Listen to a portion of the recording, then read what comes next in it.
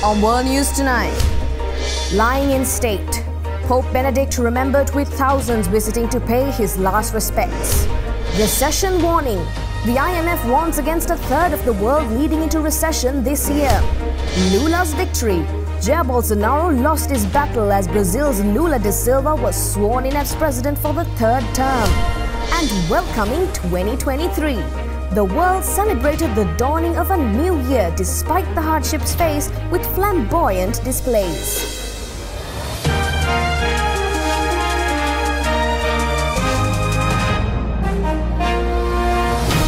This is Ada Derana World News Tonight. Reporting from Colombo, here is Anuradhi Vikramasinghe.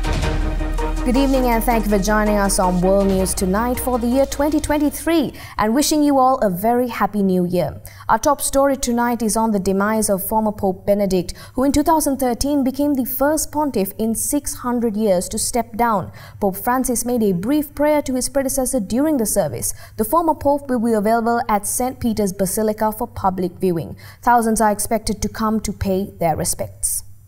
A farewell to his cardinals before Pope Benedict XVI left the Vatican by helicopter and went into the history books. Not since the Middle Ages had a sitting pontiff resigned. Eight years earlier, his arrival had been heralded with the traditional white smoke above the Sistine Chapel, as four days of deliberation elected Pope Benedict, the first German to take the role in history. Habemus Papam, Cardinal Joseph Ratzinger was 78 when he succeeded his popular predecessor, John Paul II. Born in 1927 to a devout family in a small village in Bavaria, the future pontiff entered a seminary at the age of 12. However, the rise of Nazi Germany would cast a spectre over Ratzinger's religious vocation. He joined the Hitler Youth in 1941 and then the Wehrmacht two years later. The end of the war allowed him to return to his faith. He was ordained at the age of 24 and achieved renown as a professor of theology.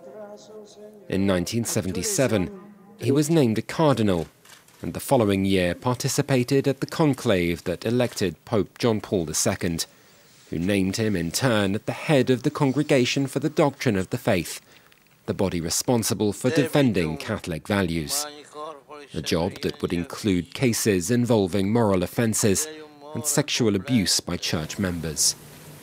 Over nearly 25 years, Ratzinger would be one of the closest collaborators of John Paul II. Once ordained, Pope Benedict carried on the work of his predecessor. He met with young people and continued dialogue with other religions with varying success, such as this speech in Regensburg in 2006. He quoted a 14th century Byzantine emperor, evoking a link between Islam and violence. Zeig mir doch, was Mohammed Neues gebracht hat. Und da wirst du, so er, nur Schlechtes und Inhumanes finden. Wie dies, dass er vorgeschrieben hat, den Glauben, den er predigte, durch das Schwert zu verbreiten. It sparked outrage within the Muslim community and wasn't the only controversy the Pope would face. Revelations of paedophilia within the Catholic Church dogged John Paul II as well, but Benedict XVI lacked his predecessor's charisma, as his own brother acknowledged. Mit ihm kann man gut auskommen. Man könnte eine ganze Reihe von positiven Eigenschaften erwähnen. Unlike so many pontiffs, Pope Benedict would live to see the shape his successor, Pope Francis's mandate, would take one with a style radically different to his own. Now, a third of the global economy will be in recession this year. The head of the International Monetary Fund has warned. Kristalina Georgieva, International Monetary Fund Managing Director, said 2023 will be tougher than last year as the US, EU, and China see their economies slow.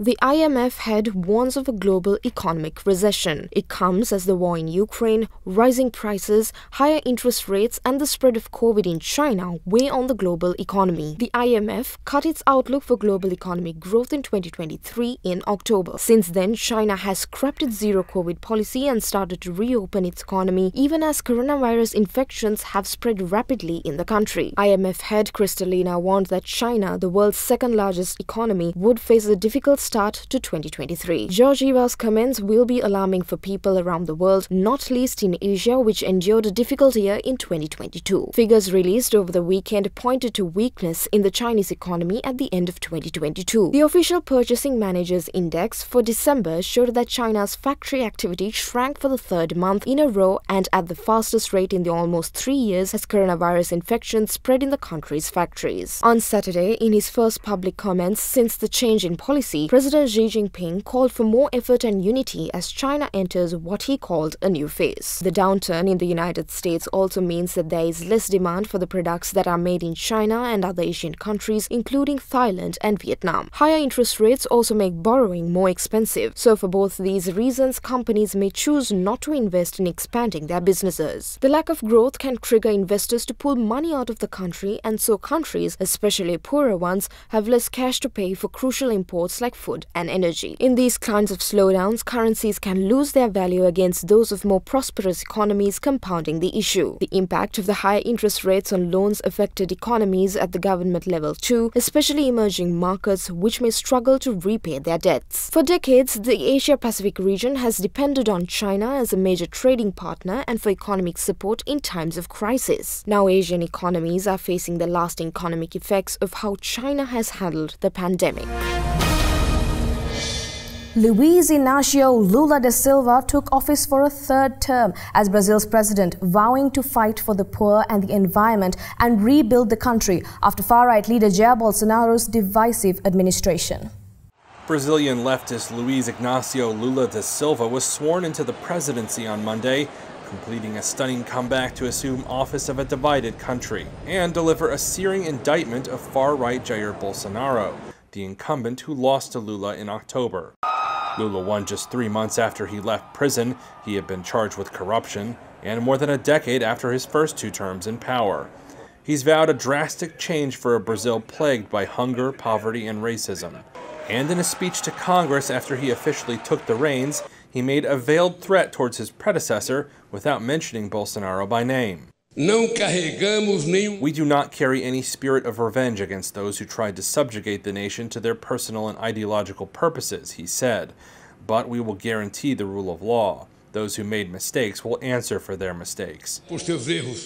Bolsonaro rattled Brazil's young democracy with baseless claims of electoral weakness that spawned a violent movement of election deniers, some of which have camped out in front of army barracks and called for a military coup.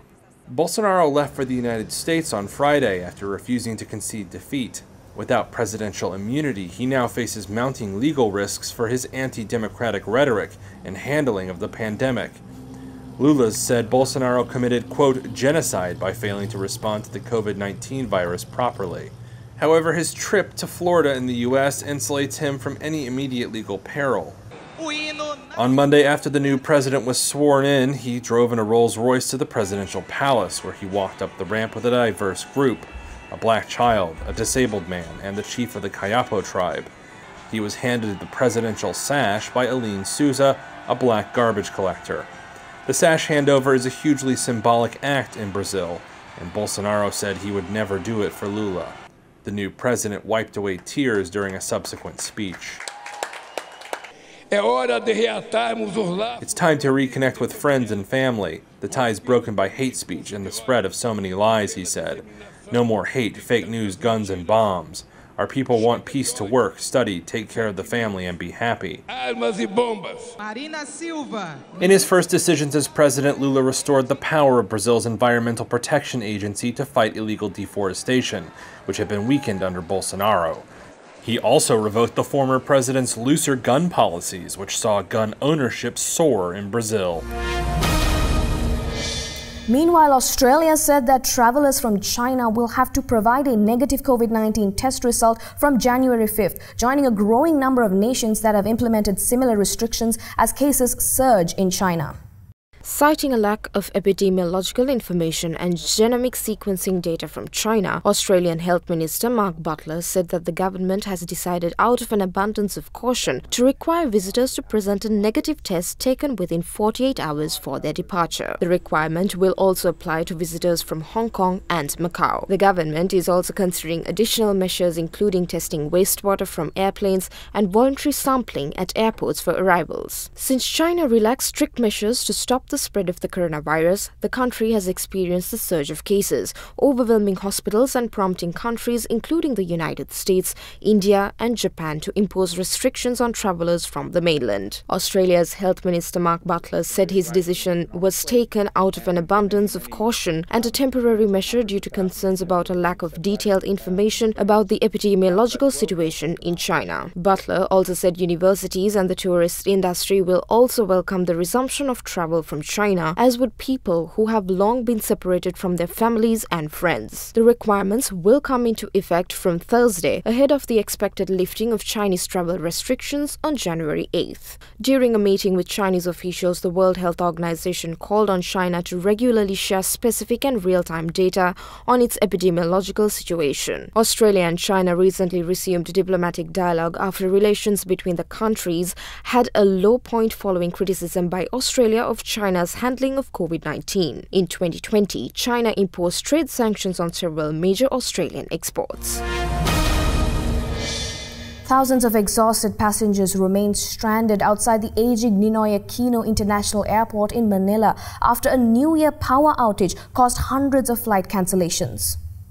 Passengers stated that in 24 hours that they have been waiting, they have become very exhausted from lack of sleep. With bodies aching from all the waiting, stranded passengers find random corners in order to rest. Long queues were seen forming at crowded airport terminals by passengers waiting to rebook their flights. Cesar Chiong, general manager of the Manila International Airport Authority, said the airport was handling a maximum of 15 arrivals per hour compared to 20 during normal operations. The outage was the result of the unprecedented failure of both primary and secondary power supplies, he said, adding it will take around 72 hours for airlines to normalize their operations. About 65,000 passengers were affected after 361 flights were either delayed, cancelled or diverted to other regional airports, while numerous other flights were forced to reroute to avoid Philippine airspace. Flag carrier Philippine Airlines said that it was arranging recovery flights out of the United States, Singapore and Malaysia and diverting some flights to domestic airports. Budget carrier Cebu Pacific cancelled 54 domestic flights today. The Ninoy Aquino International Airport has previously been ranked among the world's worst international gateways, with flight delays a regular occurrence and a history of upgrades being delayed or abandoned due to disputes between the airport and contractors. Let's go in for a short commercial break. More world news on the other side.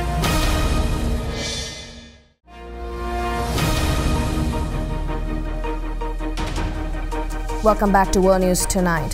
Vladimir Putin has framed the war in Ukraine as a near existential battle for Russia's future amid New Year's Eve missile strikes on the Ukrainian capital. A ceasefire, the Russian war against Ukraine, can be expected during 2023 and even as early as mid year, a former German army and NATO general said.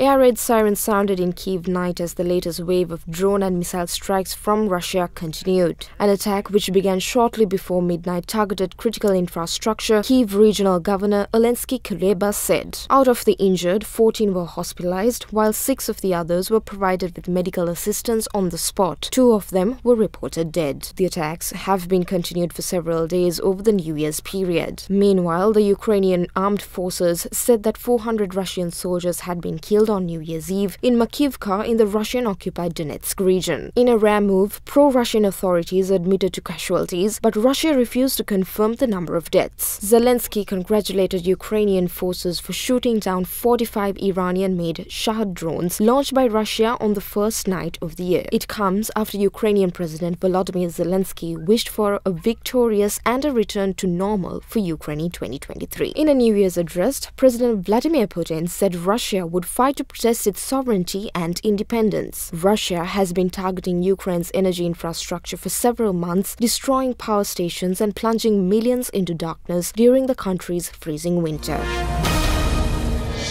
North Korea fired short-range ballistic missiles into the East Sea again. It comes after Seoul successfully conducted a test flight of a solid-fuel space vehicle. New convoys of South Korea, the US and Japan denounced the regime's launch and decided to increase talks with China to deter the North's further provocations.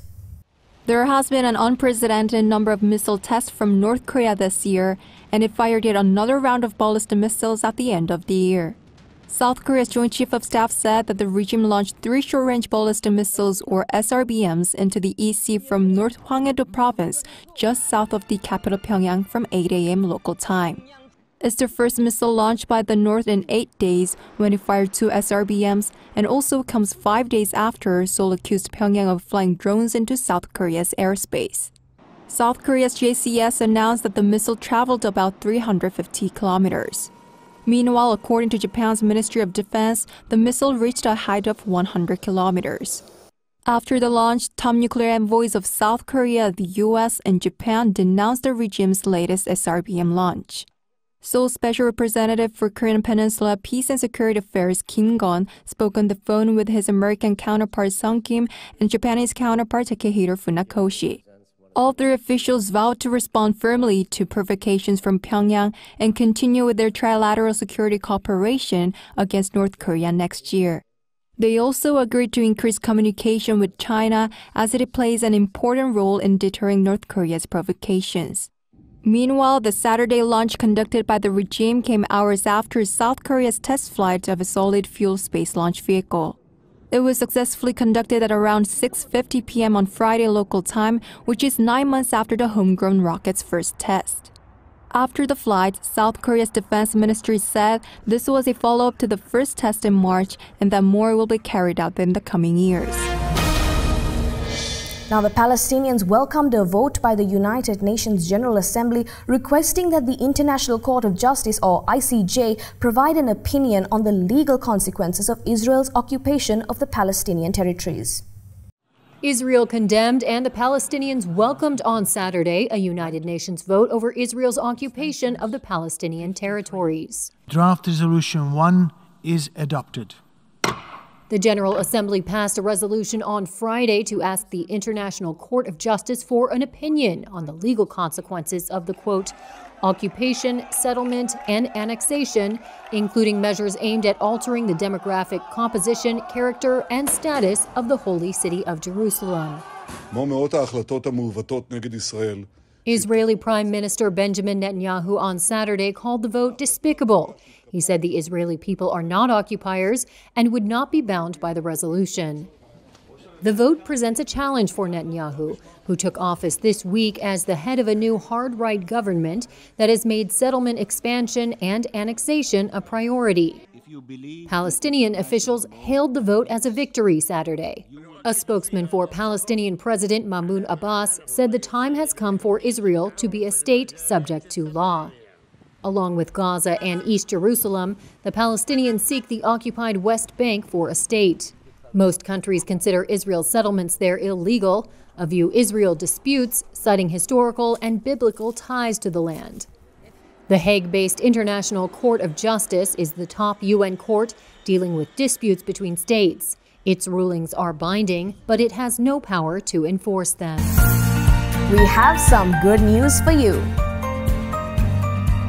Anxiety disorders can ruin a person's quality of life, but because of the exact source of the symptom has been unknown, they were difficult to treat. A research team has discovered that the specific brain cells that control anxiety, opening the doors to new anxiety treatments. Various treatments for anxiety disorders are tested on laboratory mice. This is a cross maze that's 30 centimeters high and just 5 centimeters wide. Put in this tight space, the lab mouse feels anxious, tenses up, and doesn't move. This time, the mouse has a fiber optic attached to its head that shines a blue light. After a few minutes, the mouse starts moving around. The blue light stimulates certain brain cells, which helps the mouse overcome the extreme anxiety.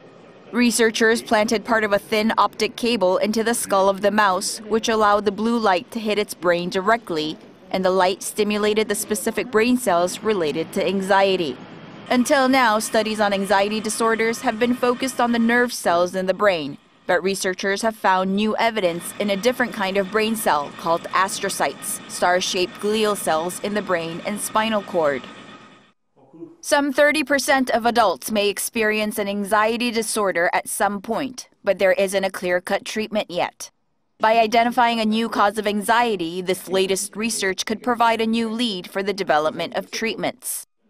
This latest discovery gives hope for those who have experienced anxiety disorders. The research has been published in the international scientific journal Nature Communications.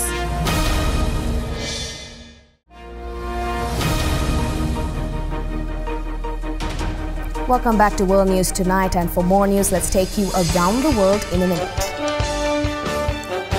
U.S. Secretary of State Antony Blinken and China's new Foreign Minister Qin Gang discussed Washington-Beijing relations over the phone. Referring to the conversation on Twitter afterwards, Blinken said the two had addressed maintaining open lines of communication during the call. The coffin of Brazilian soccer legend Pelé arrived at a stadium in Santos ahead of a wake. The convoy carrying the coffin from the Sao Paulo hospital where Pelé died on Thursday was met with fireworks and crowds as it made its way towards the stadium before dawn. Four people died and three others were in critical condition when two helicopters collided mid-flight near a popular tourist attraction on Australia's Gold Coast. A death toll in India's Kashmir rose to five after a blast which took place after a suspected militant attack in the hill town of Rajouri, where a child was killed. At least 10 people were injured in the attack and were admitted to a hospital, of whom three were announced dead when they were brought in, while another lost his life later. After heavy rains flooded roads in the Northern California city of Placerville, its residents woke up to a landscape of mud and debris. The county of El Dorado has placed evacuation warnings on several locations due to flooding.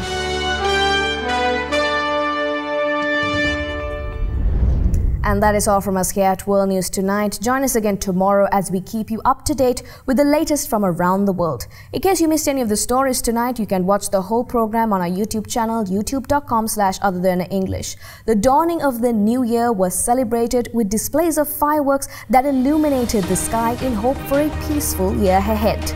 We leave you tonight with the flamboyant bursts of color in the night sky. Thank you for watching. Have a great night.